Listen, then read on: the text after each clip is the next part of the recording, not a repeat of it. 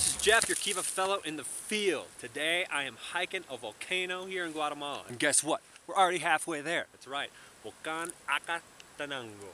We're halfway there. We got a tricky question, so let's get at it, right? My name is McCarthy, and my question is, what is an interest rate? That's a doozy of a question. In order to answer, I'm going to give you a definition, an example, and then we're going to review both fractions and percentages in order to understand what's an interest rate. And then, at the end, I got a challenge for you, okay? Interest is the cost of borrowing. Or another way to put it is how much a bank charges to use their money. Wait, a bank charges to use their money? Yep, in order to use a loan, a bank charges a percentage of that loan in order to cover the cost of operating a bank as well as potential risk of that loan not being repaid. Let me give you an example. So imagine that Leo has a lemonade stand and just got a $100 loan.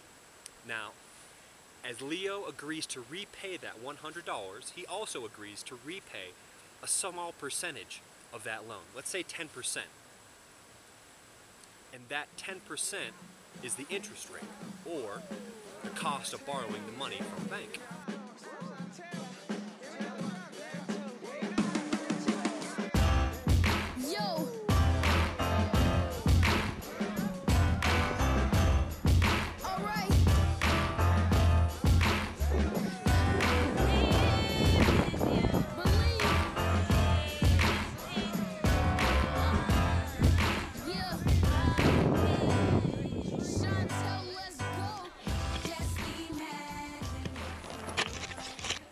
So we made it all the way to the top. Success! This is volcan or like fire volcano. Pretty awesome, right? So usually we view numbers as whole things. Let's say like a whole pizza.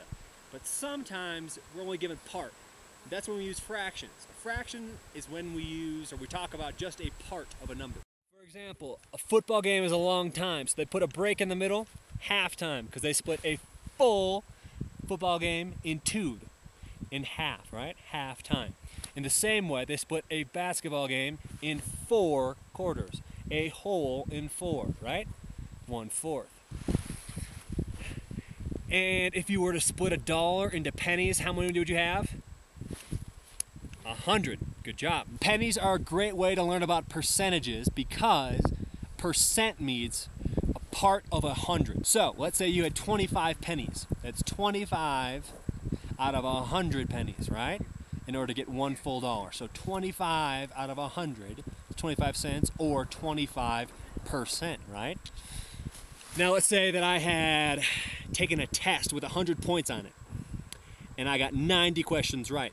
That would be 90 out of 100 or 90%. Let's go back to the example of Leo and his lemonade stand, right? So he had a loan for $100 and the bank gave him a 10% interest rate. With a 10% interest rate, what's 10% out of 100? 10%. Well, that's $10. $10 out of 100 is 10%. Good job. So here's today's challenge.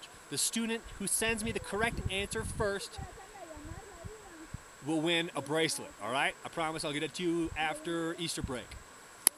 Let's say a bank makes a $5,000 loan and they charge 25%. All right, fifth graders, see if you can get this. What's 25% out of 5,000? All right. Email the answer, and I'll get you that bracelet. I hope that today we were able to learn a little bit about how interest rates work. Keep those questions coming, and we'll keep learning together. Que Dios te bendiga.